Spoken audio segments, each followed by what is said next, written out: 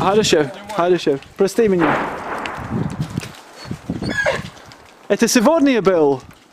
Да, это было буквально час или полтора назад, я не помню. Ну, под ваших съемок. Здравствуйте. Здравствуйте. А как это? Страшно здесь? Это очень страшно. Это настолько страшно, что вы себе передать не можете. Когда есть еще двое детей.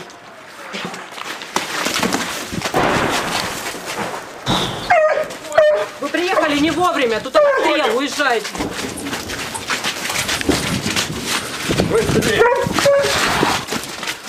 Быстрее, быстрее, заходи. Хорошо, хорошо.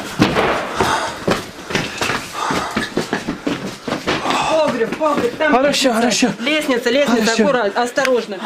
Бля, где фонарик, Саша?